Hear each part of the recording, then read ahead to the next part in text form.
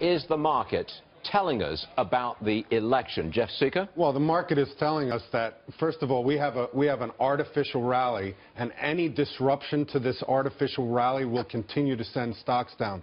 So Clinton winning and the possibility of a constitutional crisis is a major issue.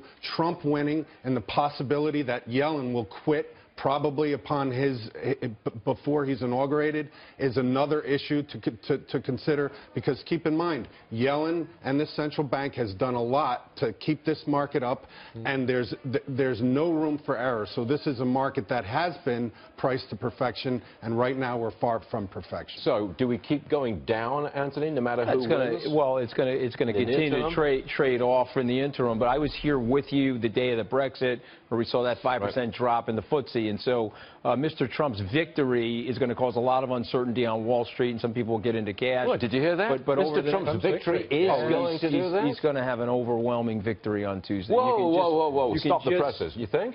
Very much so, Stuart. You can just see the momentum that's taking place. Right. And the polling, and, I, and you can dunk me next Friday because I'll be here. You can dunk me if I'm wrong. but if you look, you can look at the momentum uh, in the polling, and you can you can just feel the energy in places like Pennsylvania. And by the way, there are no Hillary signs anywhere. Show me where the Hillary placards are, people, because I can't find them in Pennsylvania. Okay, I've seen a lot of them in. I've seen a lot of Trump signs, New Jersey, upstate New York, all over. See any Hillary signs in any of those places? Very few, actually. Yeah. Very few. Same with bumper stickers, actually. The